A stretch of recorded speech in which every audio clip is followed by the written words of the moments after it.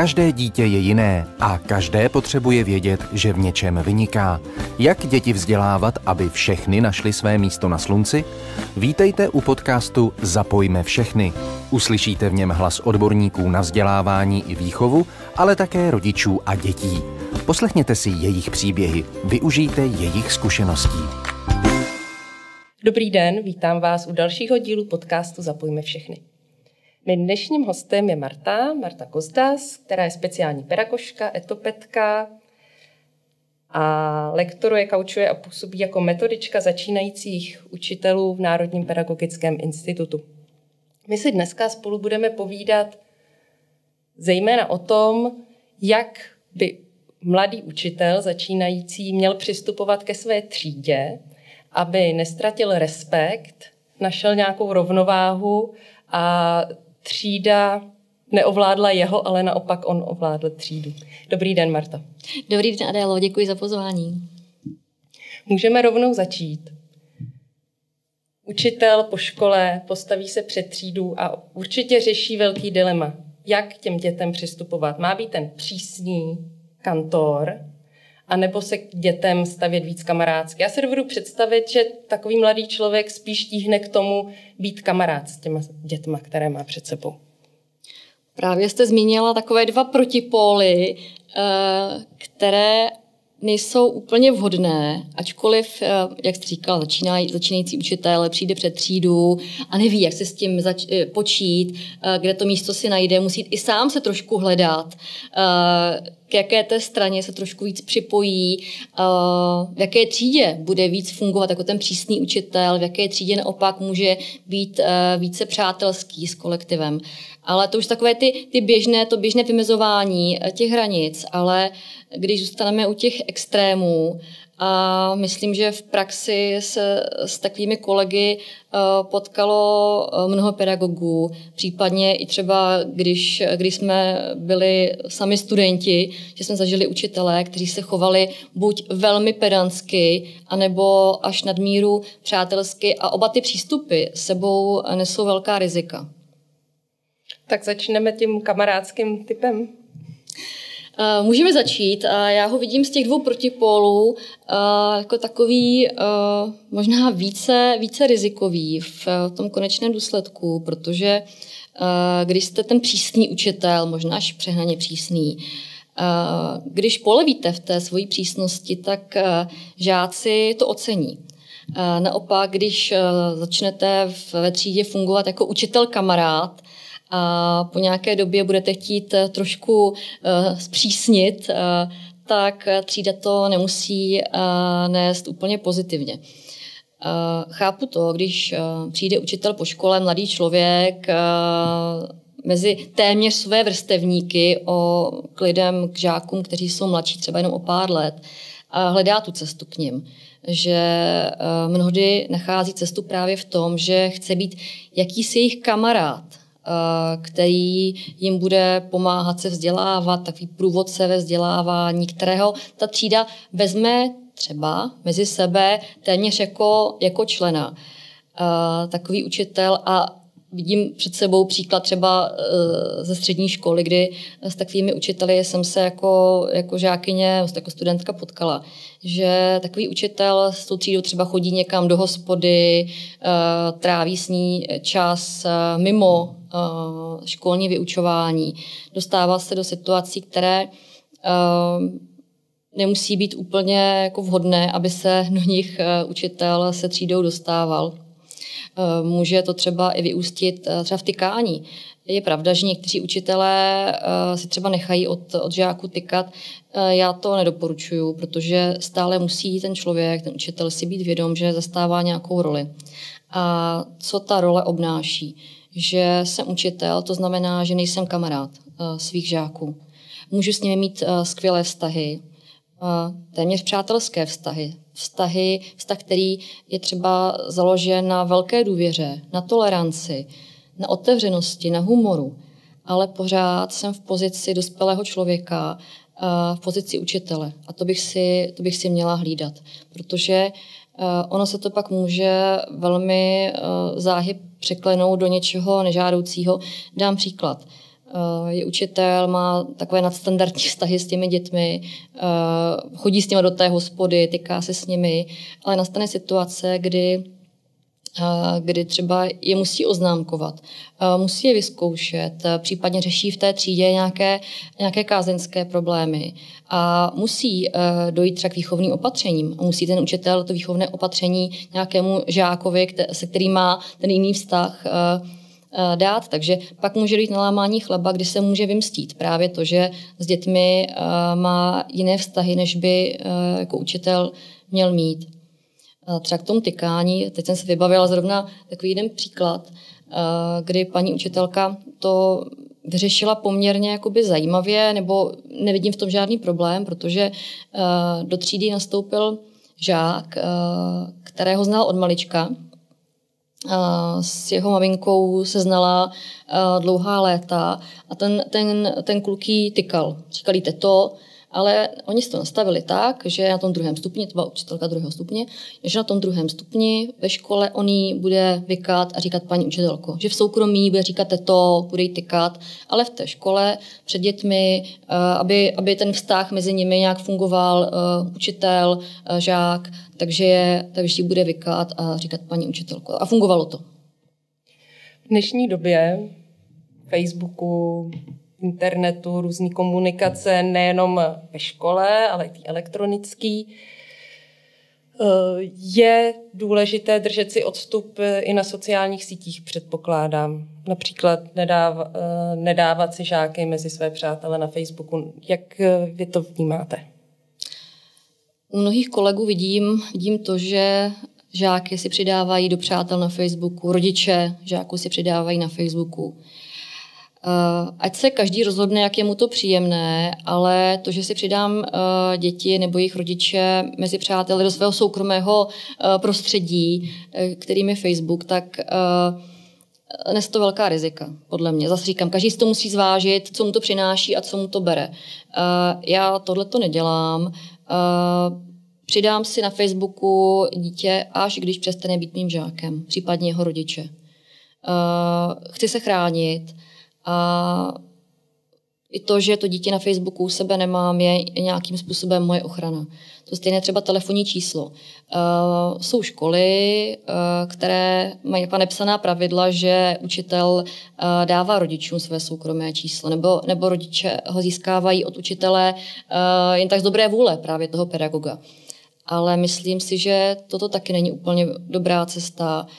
Znám příklady, že že rodiče volají učiteli v neděli v 9 večer, eh, třeba s nějakou malicherností, něco chtějí pořešit, co by se dalo pořešit třeba e-mailem nebo další, další den eh, ve škole. Takže doporučuji opravdu učitelům, aby se chránili. Sice buďme otevření, ale chraňme si svoje soukromí, aby nebylo zneužito. Eh, třeba s tím telefonním číslem nedávno, nedávno jsem s kamarádkou řešila, která je učitelka, jsem s ní řešila to, že rodiče opravdu jako zneužívají její telefonní číslo, soukromé telefonní číslo, tak jsem jí dala jasnou radu aby si pořídila telefon s jinou SIM kartou, který bude používat pouze v určitou dobu. Aby rodičům dala vědět, že jsem pro vás k dispozici v tu a tu dobu ve všední dny, jsem na příjmu, pište mi, volejte, ale mimo tuto dobu vám své soukromé číslo, soukromé číslo nebudu zvedat nikdy, nebudu vám odpovídat, ale jsem k dispozici na tomto pracovním telefonu ale mimo, mimo moji pracovní dobu, mimo určený čas eh, vám k dispozici na, na telefonu prostě nebudu. To je asi dobrá rada nejen pro ty začínající učitele, pro učitele obecně stanovit jasná pravidla komunikace s, s rodiči. Může být také asi jeden z problémů. Vraťme se k těm kamarádským uh, učitelům. My jsme tady uh, už pár uh, nevýhod uh, zmiňovali, ale co dělat, když někdo teda nastavil tu špatnou strategii, je, je kamarád a teď vidí, že to nefunguje. Že ty děti ho vlastně ignorují a nerespektují pak v té třídě během hodiny. Co, co může udělat, jak to napravit? Určitě. Uh, nezměnit se ze dne na den. Jeden den být velký kamarád a druhý den být ten velmi přísný učitel. Uh, pomaličku, uh, den pod ní si to uvědomovat a ubírat z toho kamaráda. A uvědomit si, že je učitel a co obnáší být učitel. Klidně si to napsat na papír. Jsem učitel, co to pro mě znamená? Jsem učitel, jaký budu mít vztah s dětmi? Jaký, jaký mám teď vztah s dětmi? Jaký bych chtěla mít vztah s dětmi? Kam to posunu? Co mi v tom pomůže, abych, to, abych uh, se v tom vztahu s dětmi posunula? Co je ten první krok? Třeba co udělám, co udělám hnedka zítra. Třeba to, že uh, děti budou vyvolávat, eh, že nebudou mě tady, mě tady překřikovat. Jo, to je třeba první krok, který si můžu v té třídě nastavit. Prostě každý si zvolí individuálně, jak by se chtěl posouvat dál. Případně může si o tom popovídat eh, s kolegy, eh, kteří mají větší zkušenosti, kterým věří, u kterých třeba funguje to, že mají dobře nastavené vztahy se třídou, vztahy s dětma. Posuňme se k těm přísným pedagogům, nebo až moc přísným pedagogům, jaká tam jsou rizika? Bych možná řekla takovým jako odosobněným pedagogům, protože to, že je někdo přísný, ale udělá nějakou legraci, dokáže, dokáže být s dětmi na jedné vlně, ale má nějaké zásady, chce si udržet třeba kázeň, to je v pořádku. Ale opravdu berme to, že někteří pedagogové někdy zapomněli trošku, že jsou lidi a že nejsou jenom ta paní učitelka nebo pan učitel, který má univerzální pravdu. Uh, takže uh, setkávám se s tím, že přijde učitel, začínající učitel do třídy a nastaví to, tu laťku a jede a, a takové to, že zapomíná, že, že on je člověk a že děti jsou, uh, jsou děti a mají nějaké svoje potřeby. Takže uh, trošku zaspomínat na to, uh, když, když on do školy chodil, co potřeboval od toho učitele. Kdo byl třeba uh, ten učitel, na kterého rád vzpomíná, jaký byl. Uh, je pravdou, že když si zaspomínáte na nějakého učitele ze svého života, který vás ovlivnil, uh, určitě to nebude o tom, že učil ten a ten předmět, ale že měl nějakou osobnost, že vám něco, něco přinášel. Eh, já třeba osobně to mám nastaveno tak, že když si vzpomenu na nejlepší učitele, které jsem kdy potkala, eh, tak to v podstatě nemuseli ani být odborníci na ten předmět, ale byli to lidé, kteří mě nějakým způsobem zaujali Eh, tím, že měli k dětem vztah a ještě žili pro ten, pro ten svůj předmět, pro ten svůj obor a dokázali natchnout ty ostatní.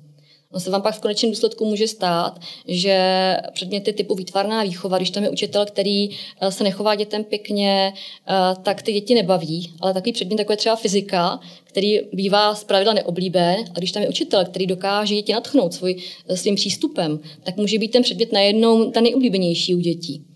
Jo. Já třeba za své zkušenosti uh, vzpomínám si z na tělocvik, protože tam jsem se potkala s něčím, uh, co úplně jako nebylo optimální pro mě. Nešlo mi to, byla jsem nešikovná, malá nešikovná a bohužel uh, jsem se potkala s tím, že že to nebylo o tom, pojď to zkusit, tady je to výzva pro tebe, ale neumíš to, nejde ti to, uh, je to špatně. Takže jde o to, aby ten učitel našel cestu uh, k dětem, aby dokázal natchnout k tomu, k té své činnosti a aby prostě byli na jedné vlně.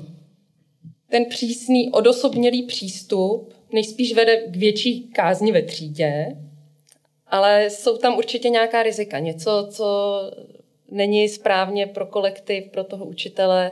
V čem vy to vidíte? Může vést k větší kázni, ale no to je jako hodně relativní, protože uh, já když uh, chci odstup od dětí, velký odstup. Jsem ta paní učitelka, která teda má ten svůj předmět a odpřednáším ho tam. A ty děti mě vlastně až tolik nezajímají, hlavně aby neotravovali, aby měli eh, dobrý známky z písemek a podobně. Já tím pádem eh, buduju velkou bariéru mezi sebou a mezi dětma. Eh, a v konečném důsledku já nemusím pak vidět, co se v té třídě odehrává, když mě zajímá pouze ten můj předmět a vyučovací hodina a, a poté konec. Děti ve mně nemusí mít důvěru. Když se něco děje ve třídě, nepůjdou za mnou. Protože já můžu nejen verbálně, ale neverbálně můžu na ně, na ně působit tak, že chci ten odstup a že mě vlastně až tolik ty děti nezajímají že uniknou mi pak věci, které v tom kolektivu se odehrávají, ty pozitivní, ale i ty negativní. To znamená například, šikana se může rozvíjet, spoustu dalších věcí, nebo někdo může mít problém, s kterým se potřebuje nějakým způsobem vyrovnat a toho učitele by potřeboval, ale ví, že za ním nepůjde a důvěra tam není. Určitě, určitě. Vemte si třeba šikana, že když nám začíná šikana, tak dost často uh, se to jako odhalí. Uh, nemyslím to, uh, to páté stádium, ale uh, v nějakém prvopočátku, že přijdou děti, tak ti svědci, že přijdou říct, že ve třídě se něco děje, že je tam nějaký agresor, nějaká oběť a jdou upozornit nějaké bezpráví. Ale jakmile já si nastavím tu bariéru, tak ty děti, eh, které eh, by to šly říct učiteli, který, který je otevřený vůči nim, tak za takovým učitelem nepřijdou. Takže je potřeba hledat nějaký balans, mít tam mm-hmm. jistou přísnost, daný jasně pravidla, ale zároveň být otevřený a vníma, vnímavý. To není úplně jednoduchý určitě pro, pro mladé učitele. Může k tomu třeba pomoct humor? Samozřejmě. Je pravda, že já vždycky s žáky jsem jako hodně dělávala jako legrácky, že vždycky musí být čas se zasmát něčemu. Zasmát se i trošku sama sobě, trošku jakoby klesnout na úroveň těch dětí. Nemyslím se ponižovat, to v žádném případě, ale opravdu být uvolněná a zasmát se něčemu, co je legračního. E, I třeba, když jsme řešili takové ty, ty šašky, kteří nás testují, kteří šaškují, ne, že by tam byla nějaká, třeba nějaká porucha chování, ale prostě v tu, tu hodinu nám narušují tím, že eh, dělají nějaké legrácky. Tak klidně bych se tomu zasmála. Teďka máme chvilku, zasmějeme se, ale konec, konec humoru, pojďme dál, máme nějakou práci. Takže eh, aby ty děti věděli, že můžeme se společně zasmát, ale pak máme i nějaké povinnosti. Často se děti setkávají s takovými třeba nevhodnými poznámkami ze strany uh, učitelů, může to být pro ně zraňující. Na to by si asi ale měli dávat pozor. Samozřejmě. Ti, kteří jsou mm. za ty kamarády více. Mm. Uh, aby si učitelé začínající, a běžně učitelé, nejen začínající, uvědomili, že, uh, že humor má v různých uh, skupinách své podoby. Nějakým uh, způsobem mám nastavenou komunikaci, nějaké takové to, takové to popichování uh, v kolektivu svých kamarádů, svých vrstevníků. Ale stejný typ komunikace nemůžu přenášet mezi děti. Takže to, že s kamarády se třeba i někdy jako drsně třeba popichujeme, tak takovým způsobem nemůžu jednat s dětmi. Ten humor tam musí být, ale uměrný tomu, že já dělám legraci, ale jsem pořád ten pedagog, který je ten, ten kdo, kdo je, je ta autorita pro děti. Jak reagovat třeba už, že, když už je to za hranou vůči tomu učiteli? Tak řeknu, že ne, to se mi prostě nelíbí. Jo, byla legrace, teďka, ale to, teďka si udělal něco, co mi se nelíbí. A už příště nechce, aby se to opakovalo. Uh, to je první taková jako reakce, abych prostě řekla, že nelíbí se mi to. Uh, nedoporučuju to přehlížet. Takmile se děje něco, co mě nějakým způsobem poškozuje, děti třeba to nemusí myslet uh, nějak zle, přepísknou to, stane se to. Tak jim ale dám jasně najevo, že děcka takhle ne. Celkově asi lepší řešit ty konflikty napřímo, a kdy třeba, když už to chování je za nějakou hranicí, je lepší řešit to ve třídě, anebo spíš individuálně s nějakým problematickým žákem po vyučování? Záleží na té situaci. Když, ten, když to dítě proti mě třeba vystartuje v té třídě, uh, třeba mi řekne nějaký to vulgární slovo. A to musím reagovat samozřejmě. Neřeknu, teď se nic neděje, po vyučování se sejdeme, popovídáme si o tom. To nejde. I vůči těm ostatním dětem. Musím nějak na to reagovat. Ale nechat to vyšumět, to, že, to, že zareaguju, to dítě utnu, to jeho nežádoucí chování. Ale pak se k tomu vrátím eh, a třeba se ho i zeptám eh, mimo výuku, eh, co to mělo znamenat, co si, co si od toho mám odníst. Jestli, jestli to byla reakce na to, co se děje ve třídě, nebo naopak se děje něco mimo třídu, a tím to zkusí popsat, abychom ty vztahy mezi sebou uh, nějakým způsobem narovnali, protože aby to dítě se necítilo, že teďka něco mu ujelo a já na něho budu zasedlá, nebudu se na něho tvářit špatně dalšího půl roku, uh, to není cesta. Říkat se to. Pro práci se třídou je potřeba jistý nadhled, který by ten učitel měl mít. Máte nějakou radu, jak ho, jak ho získat, eh, nebo jak přistupovat třeba i k nějakým menším eh, prohřeškům, jestli má cenu něco třeba si říct, jo, tohle to byl jenom fórek, nebudu na to reagovat, eh, nebo opravdu reagovat na všechno.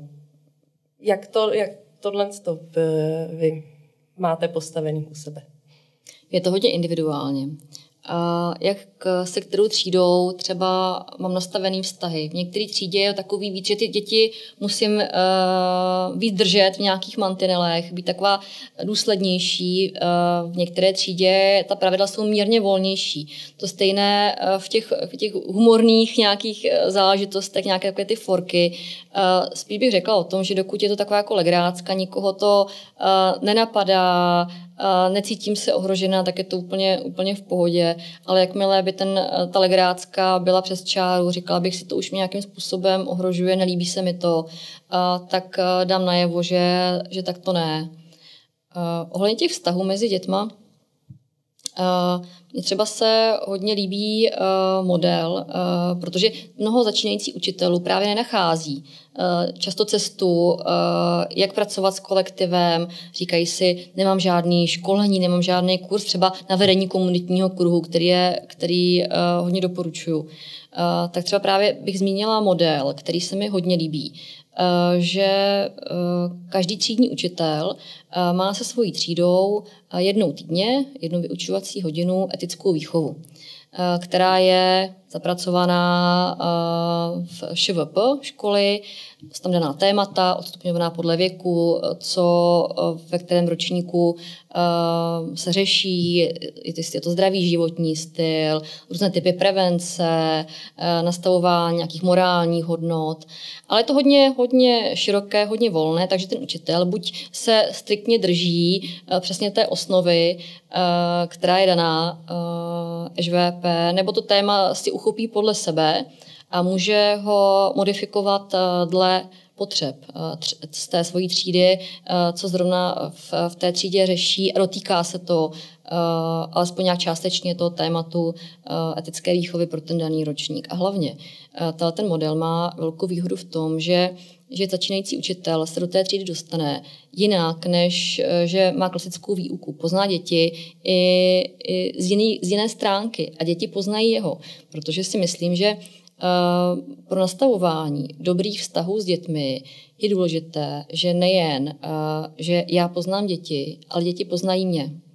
Že děti eh, dokáží z mého chování přečíst, jakou mám náladu, co se zrovna teďka děje, jsem pro ně čitelná. Že děti poznají, kdy mám radost z toho, co se jim daří, nebo naopak, kdy se třeba zlobím, když se něco stalo. Ví, co ode mě mají čekat. Takže já vím, co můžu čekat od dětí, ale naopak děti vědí, co můžou čekat ode mě. Takže k tomu třeba vede i to pravidelné zařazování etické výchovy, nebo nějaké třídnické hodiny, ale, ale ten model etické výchovy pravidelně s nějakým tématem se mi moc líbil.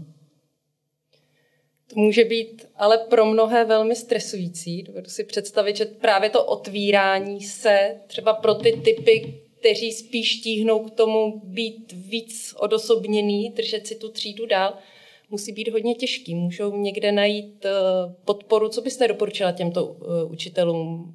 Mohou poprosit psychologa třeba, aby přišel do těchto hodin. Jak tohle řešit? První krok je přiznat si, že v tom trošku plavu, nebo jsem v tom nejistá, nebo se bojím. Je to úplně přirozené. Uh, takže oslovit někoho, komu věřím v té škole. Uh, já bych směřovala uh, svoje kroky do školně poradenského pracoviště. Jestli funguje v té škole, jestli to není pouze formální funkce, Eh, těch pracovníků. Eh, takže eh, buď školního psychologa, školního speciálního pedagoga, můžeme využít i výchovného poradce. Možná bych směřovala k tomu člověku, ke kterému mám třeba lidsky blízko, nebo, nebo důvěřuju mu, že mi pomůže v té mojí situaci. Ale ne, nezůstával bych v tom sama. Buď bych se alespoň poradila, jak na to, anebo třeba toho kolegu, toho zkušenějšího kolegu bych si pozvala do té hodiny, že by mi třeba ukázal, jak on takovou hodinu vede, nebo aby byl pozorovatel toho, jak já v té třídě funguji, aby mi pak dal zpětnou vazbu, eh, co se mu líbilo, nebo co bych mohla příště udělat jinak. Ten sběr zpětné vazby může být dost důležitý, nejen pro začínající uh, učitele. Vyplácí se sbírat i zpětnou vazbu očáků určitě. Jakým způsobem eh, na to jít třeba i někdo, kdo nemá příležitost strávit tý, eh, každý týden jednu hodinu s tou svojí třídou. Jsou různé metody. Eh, pozorování, buď moje nebo, nebo kolegů. Může to být třeba dotazník. Zeptám se dětí na pár krátkých otázek, rozdám jim dotazníček, anonymní dotazníček, nebo kdo, kdo chce, může, může to samozřejmě podepsat, ale záleží na nich, aby mi dali zpětnou vazbu. Ale je dobré, aby, eh, když se dětí na něco ptám, nejen dotazníku, ale třeba eh, během rozhovoru, aby, abych pokládala otázky otevřené.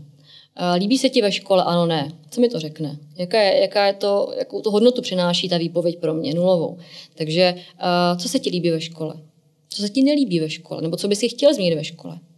To mi pak přinese to, co, s čím pak já dál můžu pracovat. Máte pocit, že učitelům chybí nadhled, ale nadhled nad tím, jak oni sami se chovají vůči žákům, jak jsou bráni, anebo spíš převládají ty učitelé, kteří dokáží najít tu správnou polohu, s těmi žáky mají ten otevřený vztah. Uh, určitě převládá ta druhá možnost, ale najdou se i mezi kolegy někteří, kteří uh, se berou, jak jste říkala, moc vážně, ale já spíš zatím vidím, že se berou moc vážně trošku obavu, uh, nejistotu že raději budu v té pozici vážná paní učitelka, která má ten odstup, taková ta moje jistota, v tom já se dokážu pohybovat. Nevystoupím z té své komfortní zóny, protože tam může být nějaké ohrožení. Ale to, že z té komfortní zóny vystoupím, mi naopak může pomoci najít cestu k žákům. A, a, a naopak. Takže nebát se trošičku, jako nebrat se tolik vážně. Sice ano, jsem ten učitel, mám mít ten respekt a, a další věci, které obnáší ta moje profese, ale pořád jsem jenom člověk. A aby děti věděli, že s nima tam není stroj, ale že to člověk, který naslouchá.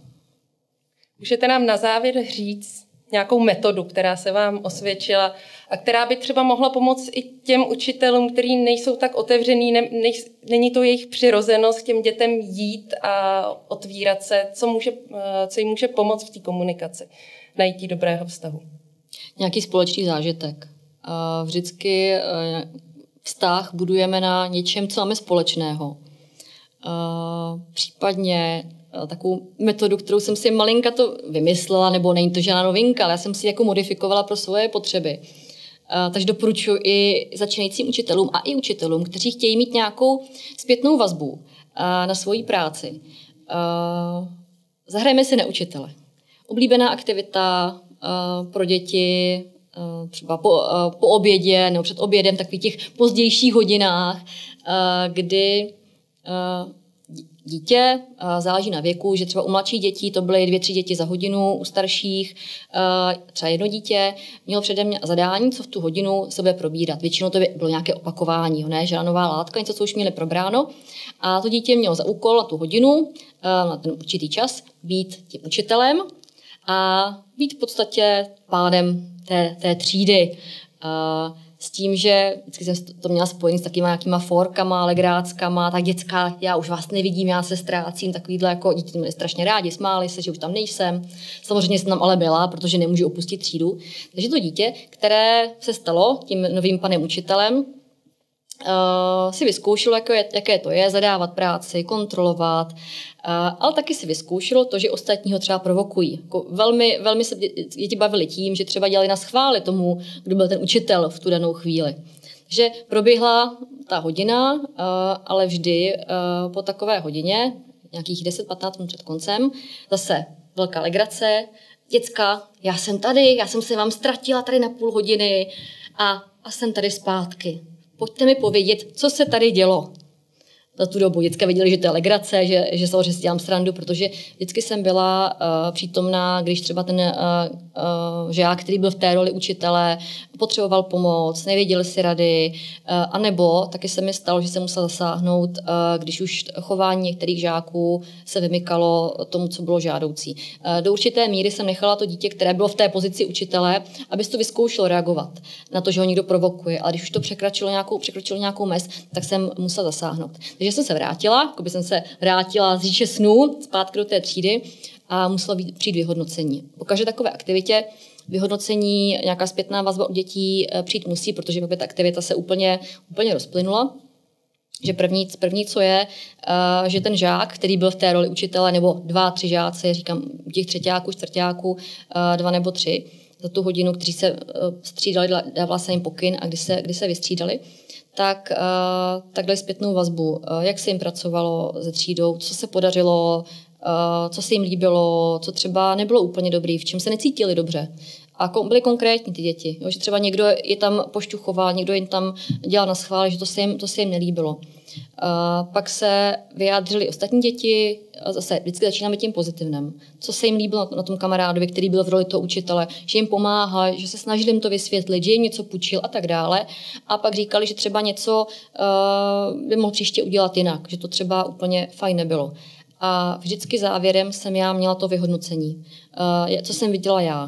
Uh, zprvu popis, popis toho, co jsem viděla. Ono někdy ani to hodnocení moje nemusí být o tom, že hodnotím dobře, špatně, to vůbec ne. Někdy stačí jenom popis toho, co jsem viděla. Viděla jsem, že uh, hezky si uh, tady rozesadil při skupinové práci tady spolužáky a fungovalo to. Hezky jsem tady rozdal ty úkoly. To oceňuju. Jo, takže popíšu tu situaci, uh, kterou, kterou vyhodnotím.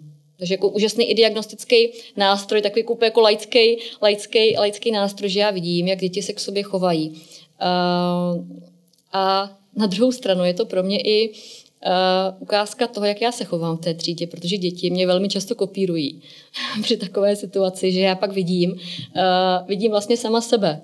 Vidím svůj odraz toho, jak děti, děti se chovají. Takže svým způsobem zpětná vazba vůči učitelům. Ano, ano. Co jsem ještě neřekla, že to všechno je dobrovolné.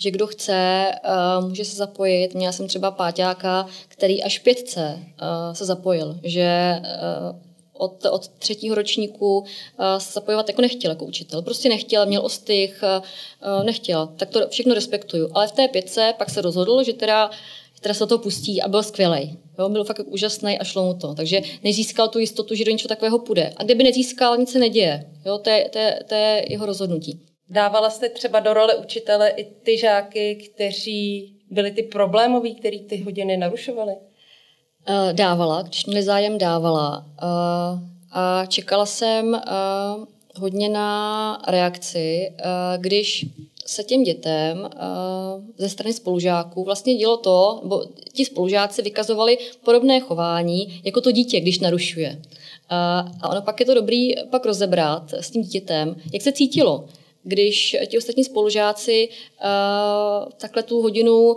mu stěžovali, že vyrušovali nebo dělali nějaké věci, které nejsou uh, úplně optimální. A to dítě díky tomu třeba i získalo nějaký větší nadhled na, na to své chování. Cítili se do role toho druhého, eh, kterému je narušována ta práce. Děkuju. Abych tímto zakončila naše povídání. Děkuju, Marto. Budu se těšit někdy příště. Děkuji za pozvání, Adélo. Pokud se vám naše povídání líbí, určitě se podívejte na náš Facebook, můžete nás sdílet. Od mikrofonu se loučí Adéla Pospíchalová a já se loučím eh, s Martou. Naschledanou. Naschledanou.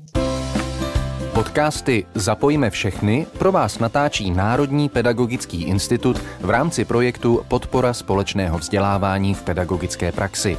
Projekt spolufinancuje Evropská unie.